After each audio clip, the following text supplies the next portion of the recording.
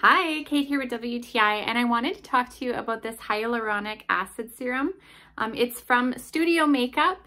It comes in this beautiful clear glass bottle, which I love, and it is awesome.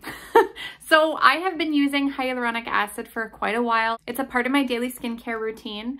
I wanna keep my skin moisturized, which is what this does. It helps to add moisture back into your skin. So it looks like this. It's got a nice dropper.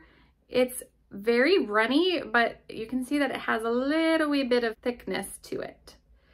So I apply this um, in the morning before I do my makeup. I put a few drops on my face, rub it in, and then you put um, moisturizer and continue with your regular routine after.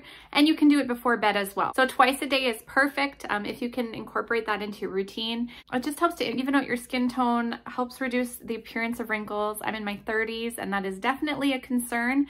Um, so this just helps to plump my skin back up and give it a little more of a youthful look. Um, it has a really nice texture.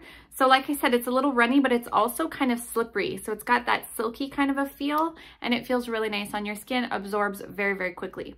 So I would definitely recommend that you incorporate this into your routine and it's a really great brand. I'm very pleased with it and that's my point of view.